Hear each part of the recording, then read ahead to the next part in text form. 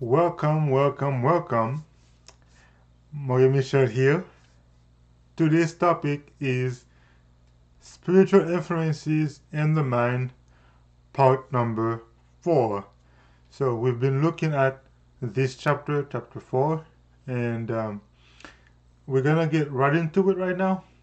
So for for today, we're gonna we're gonna start with the victory may be gained and let me just adjust the camera real quick now what we're gonna do is we're gonna go with uh, the the the parts. I'm not gonna mention all the parts we're gonna be looking at but as we go we're gonna see what we're gonna look at. So let's get right into it right now. And today we're gonna start with the victory may be gained. And let me say for the moment that there are many many people out there preaching that that you cannot get victory over sin. But we know for sure that only God gives us victory over sin. If you try by yourself then you have no success. Only God can help you with that part. So, through the cultivation of righteous principles, men may gain the victory over the bias to evil. If he is obedient to the law of God, the senses are no longer warped and twisted. The faculties are no longer perverted and wasted by being exercised on objects that are of a character to lead away from God. In and through the grace bestowed by heaven, the words, the thoughts, and the energies may be purified. A new character may be formed, and the debasement of sin overcome. That's from manuscript 60, 1905. And so we basically what we know is that uh, is that the the the the victory is not for those that already won it's for those that are struggling to win because of course satan always tries to to put you down if you are if satan doesn't tempt you then we can you can know that something is wrong yeah, because Satan would not waste his time tempting those that he already has under his grip. Okay? He will basically tempt those that he cannot get his grip upon because he's trying to get as many as possible. So, what we do is, what we do is, we we we, we assume that um, because we are sinners, then we just need to keep sinning but that's not the case, and that's not what the Bible actually teaches. Um, and right now, let me say this: um, it, it, it is very beautiful outside right now because it's white, it's snowing. Yes, it's a good day. Um, maybe I'll give you guys uh, to take a look. If you can see it, I don't know. I'm gonna try to see if you guys can see it. As you can see right here, you can see the snow on the floor and actually there's still more coming. You can see over there is pretty white. Outside is pretty white. Yes, so there is um, snow.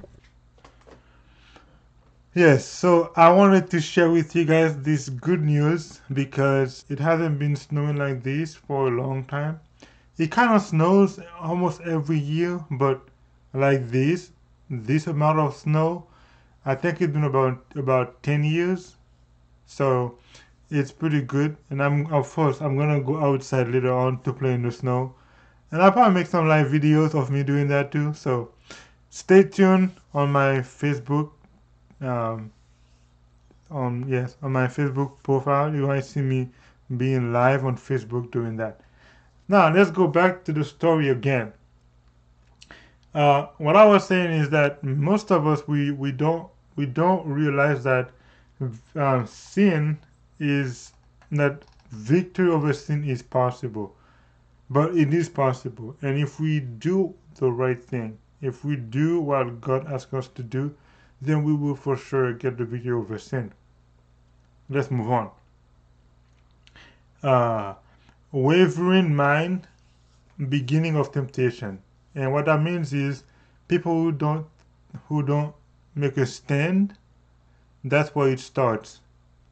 So when you make a stand, that's when you, that's when you stop basically sinning. So the beginning of yielding to temptation is in the sin of permitting the mind to waver, to be inconsistent in your trust in God.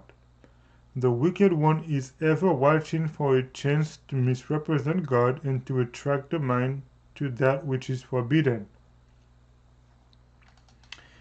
If he can, he will fasten the mind upon the things of the world he would endeavor to excite the emotions, to arouse the passions, to fasten the affections on that which is not for good for your good, but it is for you to hold every emotion and passion under control in calm suggestion, in calm subject, subjection to reason and conscience. Then Satan loses, loses his power to control the mind. The work to which Christ calls us is to the work of progressive conquest over spiritual evil in our characters.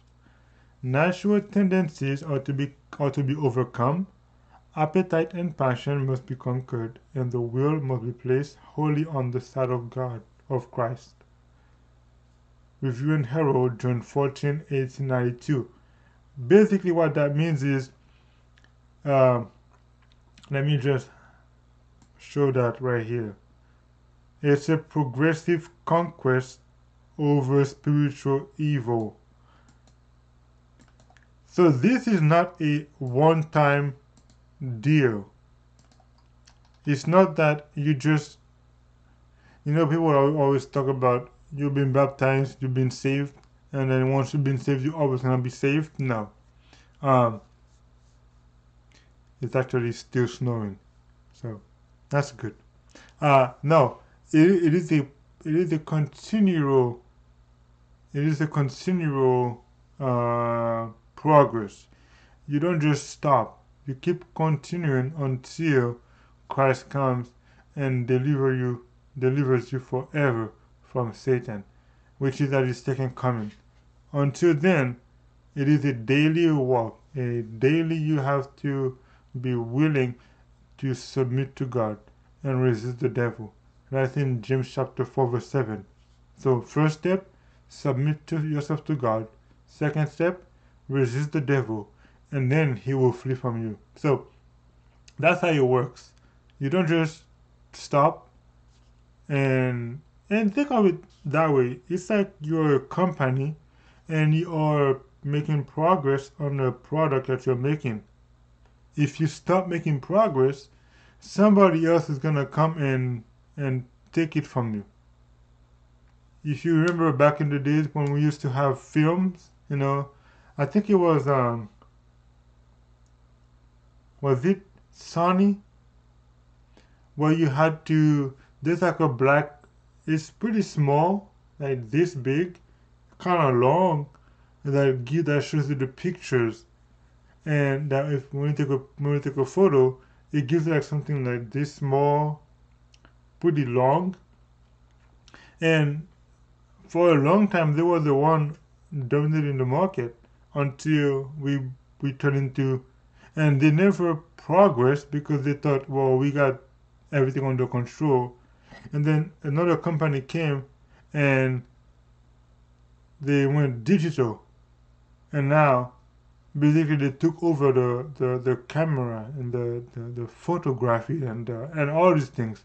So you need to keep, uh, as in business, you need to keep moving forward and progressing, getting better.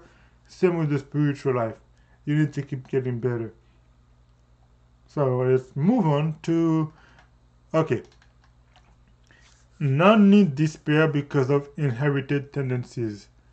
So when we were talking about tendencies earlier, it is not a good one.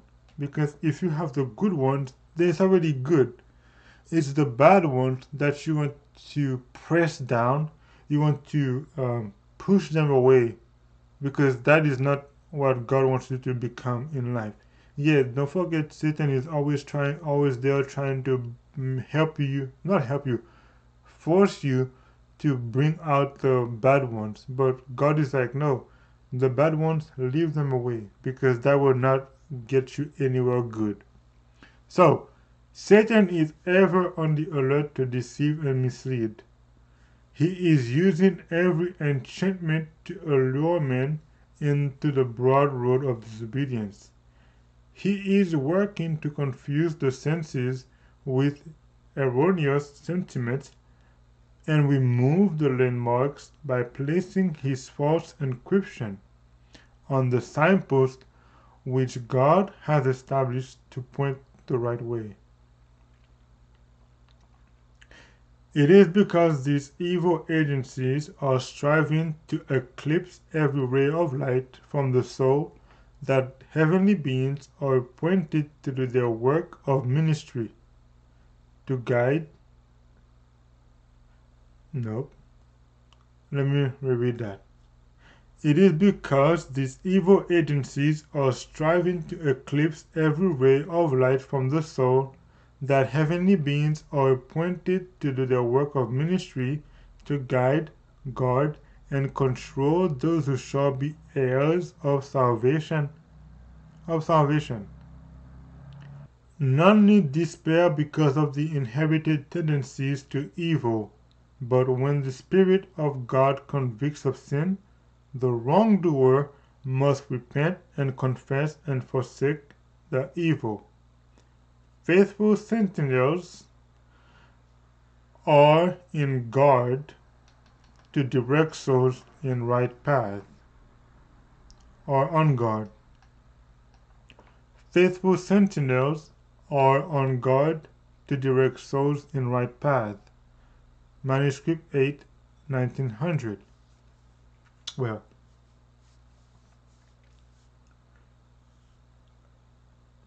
so as I mentioned earlier that's what we get.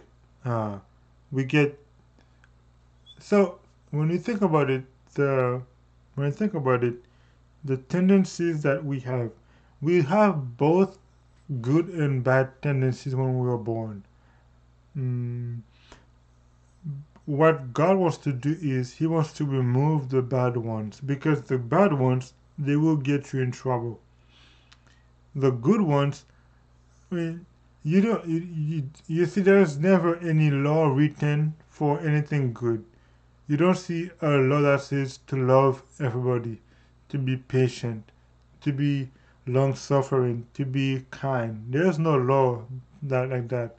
You see laws that are written against hatred, against um, racism, against uh, killing or murdering, against bad things, basically. Not the good things, but the good things you can you need to keep them. The bad things, that's what you need to to move away from. So, uh, that's basically what it was. What what what it boils down to.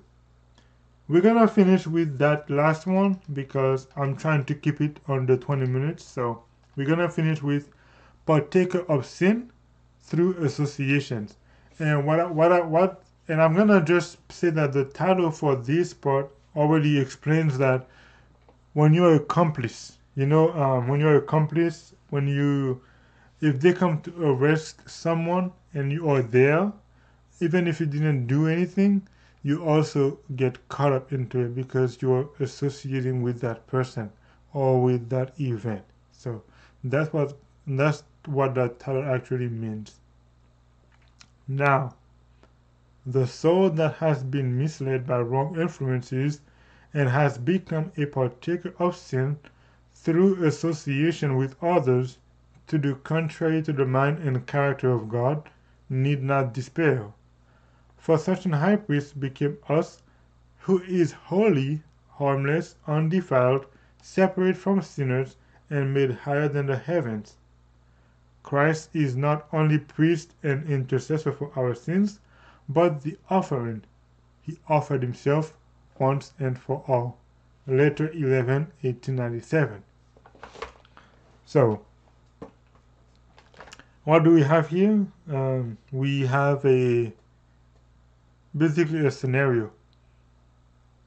The scenario is by associating with um, people that do bad things, we also become that. One thing that says is, tell me, um, tell me who your friends are, and I'll tell you who you are. Yes, that that's basically association right here. So if your friends are murderers, adulterers, fornicators, and you get the point, then you become molded into that. So, what do we do then?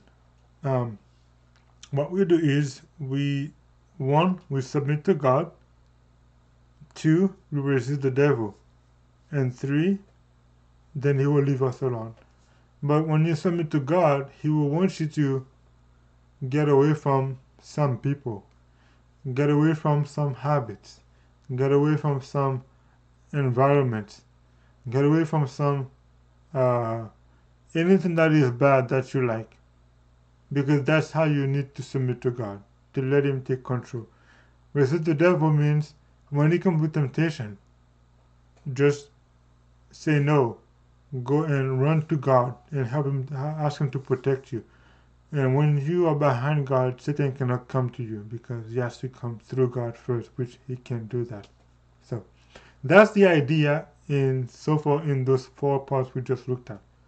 When we, when we see part number five, we're going to see more and possibly even deeper things that are needed in this progressive conquest over sin and over Satan.